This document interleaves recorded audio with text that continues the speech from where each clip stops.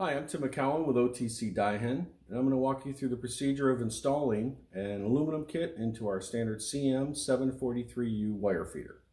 So your wire feeder is going to come standard already with the steel kit installed, um, but we actually are going to need the two bottom drive gears from the steel kit to apply that with our aluminum kit to, uh, to make it complete. So um, first thing, let's go through the aluminum kit. Your aluminum kit's going to come with four of these shiny drive rolls, two of these drive gears, along with the attachment screws. Uh, and you're also going to receive your uh, center guide and your outlet guide. Now, these two pieces here from the aluminum kit are made of a hard durometer plastic, which is going to help you differentiate the difference between the aluminum kit and the steel kit. The steel center guide and outlet guides are actually made of steel.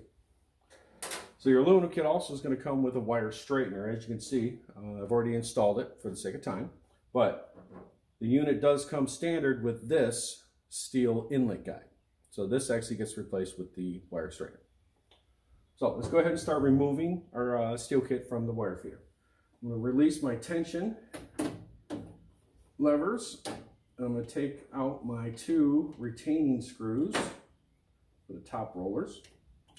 These top rollers, these are not drive rolls as much as they are guides, pressure guides. As you can see, they're actually flat on this surface here.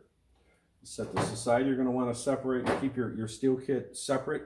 Uh, maybe put it in a plastic bag or the same shipping uh, packaging that the aluminum kit came in because when you want to go back to wire or to steel wire welding, uh, you're going to want your steel kit readily available.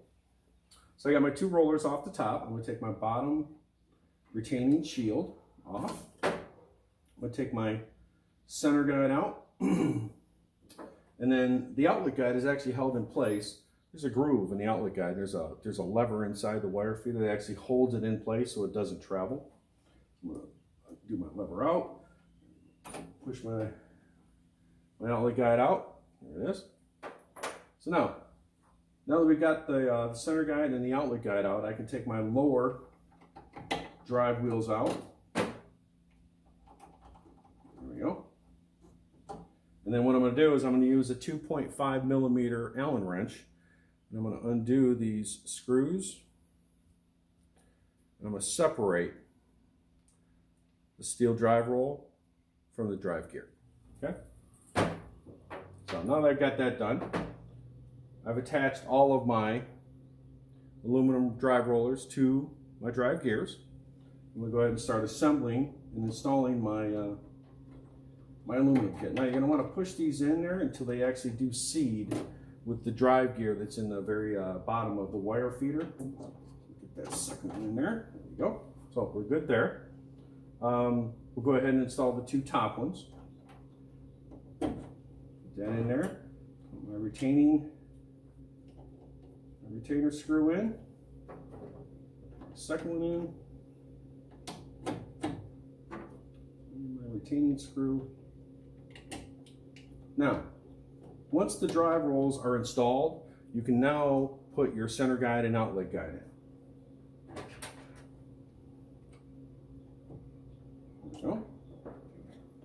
Remember, you've got this groove on the outlet guide, so you're going to want to feed that in last. So this first part here goes in first the tapered end.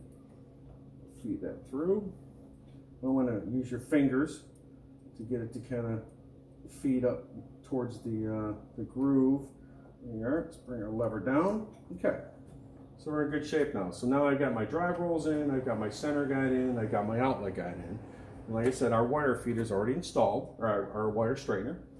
Now I'm going to go ahead and clamp this down. I'll put my lower retaining shield on.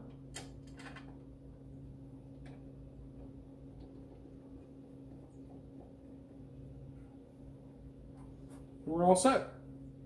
If you ever have any questions or if you need any additional parts, uh, please feel free to contact your local regional sales manager or uh, your local uh, authorized welding partner uh, with OTC, OTC Daihen or Call 937-667-0800. Ask for customer service, tech support, and we'll be happy to help you out. Thanks for watching. See you soon.